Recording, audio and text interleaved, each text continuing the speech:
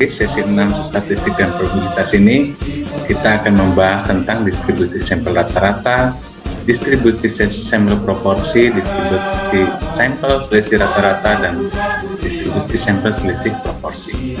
Ini menurut penelitian dahulu dan terdahulu bahwa yang dimaksud dengan distribusi sampel dari rata-rata hitung sampel adalah suatu distribusi probabilitas yang terdiri dari seluruh kemungkinan rata-rata hitung dari suatu ukuran sampel tertentu yang dipilih dari populasi dan probabilitas terjadinya hubungan dihubungkan dengan setiap rata-rata hitung sampel. Nah, inilah distribusi sampel secara umum dapat dibedakan menjadi empat yaitu sampel rata-rata, distribusi sampel proporsi, distribusi sampel rata-rata, dan distribusi sampel selisih proporsi.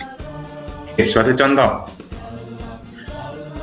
Untuk menghitung tingkat produktivitas UKM di Jakarta, misalkan Jakarta Utara, Selatan, Pusat, Barat, Timur, produktivitasnya adalah seperti ini, maka nilai rata-rata populasi adalah seperti ini cara menghitungnya.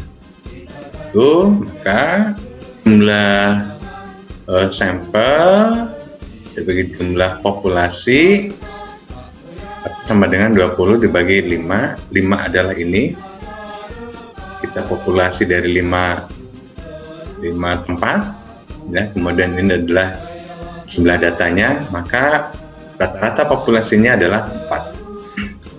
Oke ini untuk menghitung probabilitasnya. Ah sekarang yang penting perlu disampaikan adalah distribusi sampel rata-rata. Rumus menghitung distribusi sampling rata-rata adalah ini. Ada rata-rata, rumusnya ini, ada standar deviasi, rumusnya ini, ada nilai baku, rumusnya adalah ini. Ya, ini adalah notasi-notasinya. Ada dua hal penting dalam menghitung rumus distribusi sampling rata-rata. Yang pertama adalah populasi tidak terbatas. Maksudnya populasi tidak terbatas itu adalah antara N per N, N kecil bagi N besar, lebih kecil dari 5%, N itu adalah sampel, N kecil adalah sampel, dan N besar adalah populasi. Lebih kecil dari 5% maka itu termasuk populasi tidak terbatas. Sedangkan populasi terbatas, yang dimaksud populasi tidak terbatas itu populasinya sangat tinggi gitu ya. Kemudian populasi terbatas adalah populasinya hanya sedikit. Nah, maka populasi terbatas N, N itu adalah sampel dan N besar ini adalah populasi lebih besar dari 5%, maka data yang harus digunakan harus lebih besar dari 5%. Oke, ini untuk menghitung distribusi sampling rata-ratanya, rumusnya adalah ini, ya, di mana ini adalah rata-rata pada distribusi sampling rata-rata, baik populasi tidak terbatas maupun populasi terbatas rumusnya sama, Kemudian standar deviasi. Nah, hal pentingnya di sini adalah standar deviasinya berbeda antara populasi tidak terbatas dan populasi terbatas. Di mana populasi terbatas ini harus dikalikan dengan faktor koreksi. Ya, ini adalah faktor koreksi. Ini keterangannya. Jumlah populasi dikurangin jumlah sampel dibagi jumlah populasi kurang satu itu disebut dengan faktor koreksi. Nah, standar deviasi dari populasi terbatas itu yang menggunakan adalah ini harus dikalikan dengan faktor koreksi. Oke, ini ini saya berikan suatu contoh kasus. ABC Company memproduksi remote control dengan menggunakan dua baterai. Rata-rata umur baterai yang digunakan di produk ini adalah 35 jam.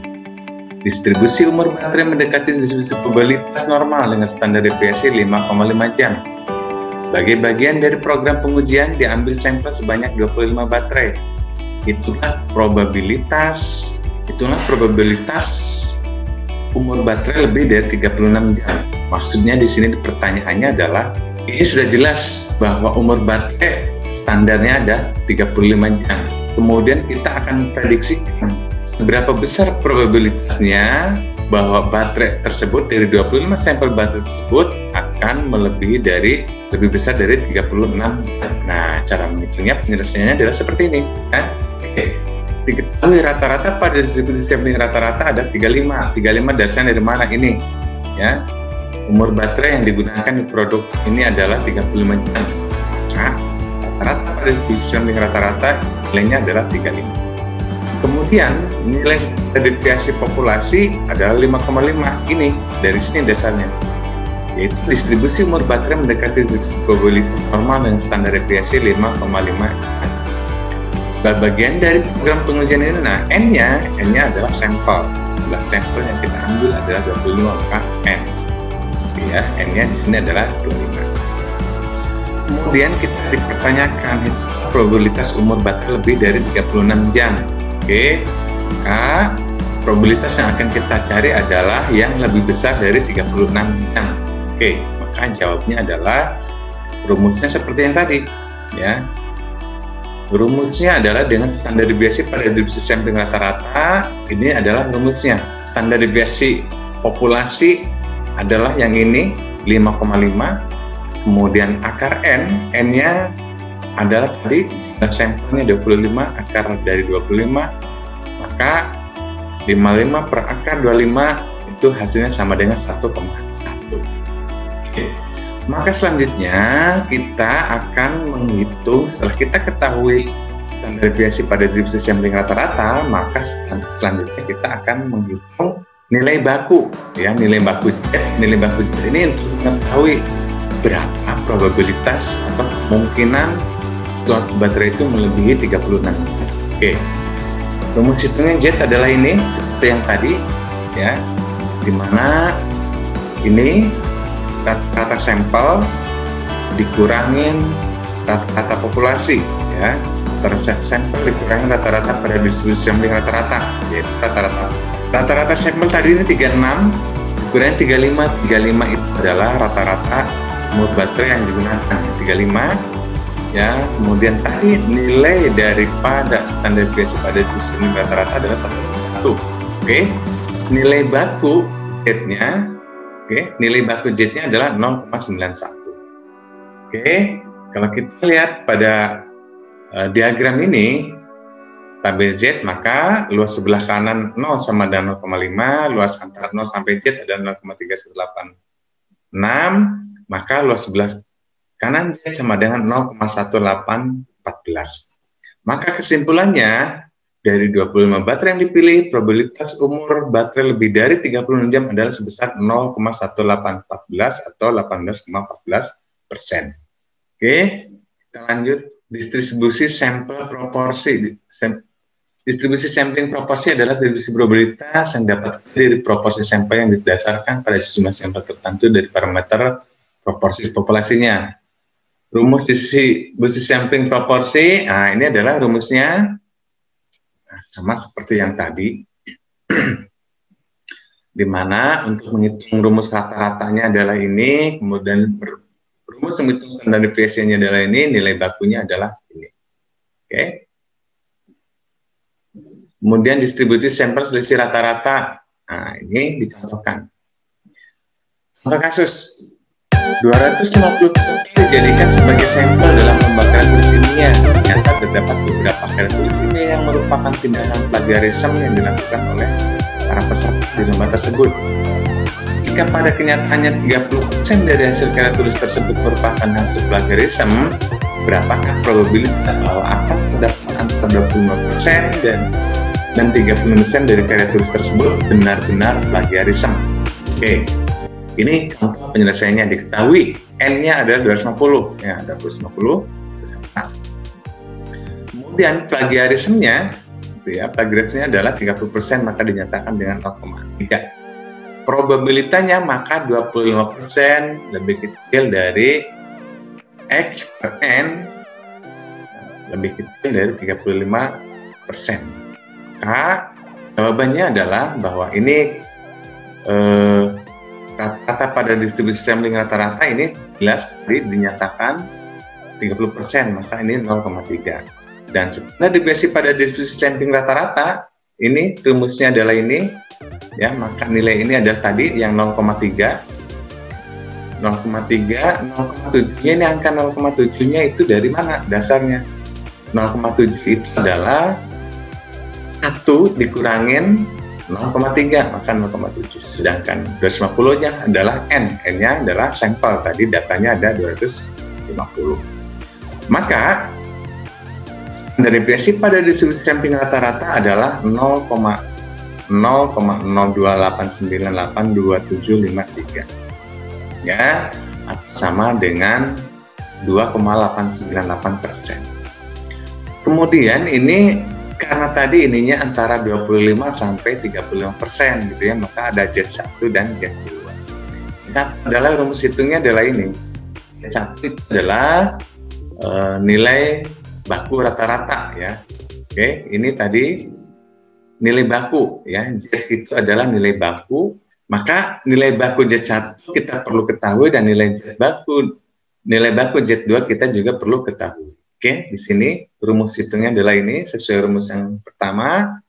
Di sini 0,25 eh, ya, 0,25 itu adalah untuk mengetahui probabilitas antara 25% tadi ya. Kemudian ini angka 30-nya adalah probabilitas plagiarismenya tadi 30%, kemudian dibagi hasil dari perhitungan standar deviasi pada distribusi sampling rata-rata.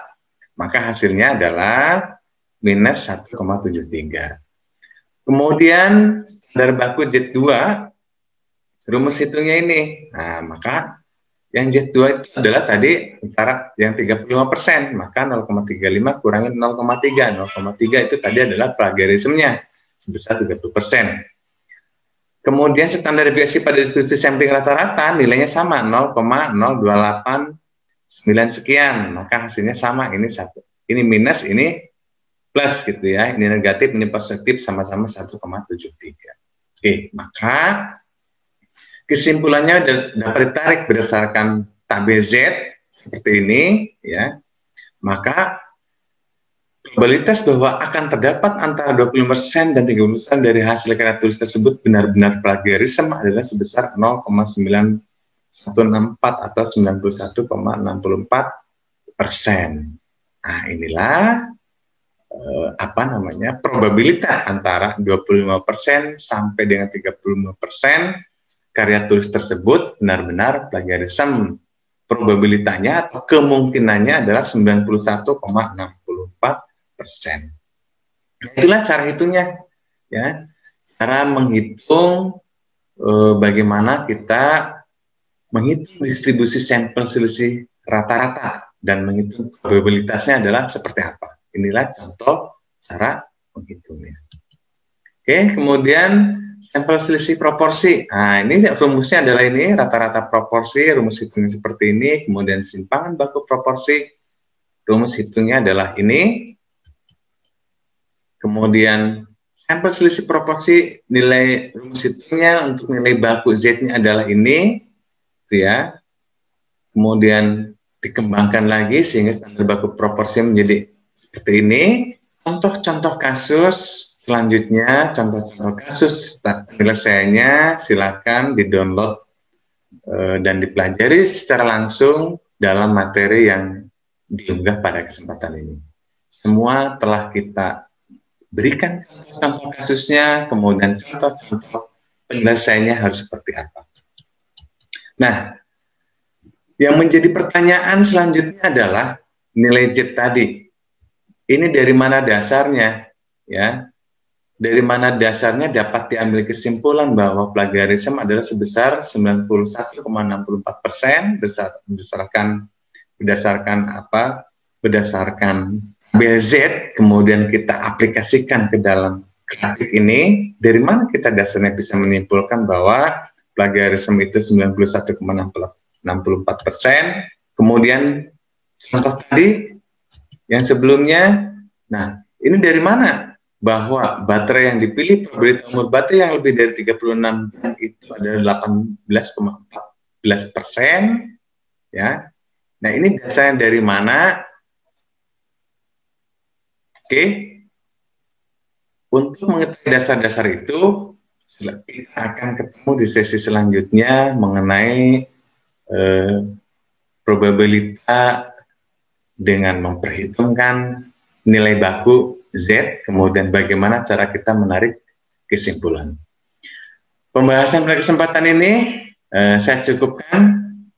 untuk lebih lanjut memahami tentang apa yang telah disampaikan e, barusan, maka silakan download materi di sana telah secara detail diberikan contoh kasus serta cara penyelesaiannya yang di sesi-sesi berikutnya kita akan mengetahui, kita akan membahas tentang bagaimana cara menarik kesimpulan e, nilai baku kesit.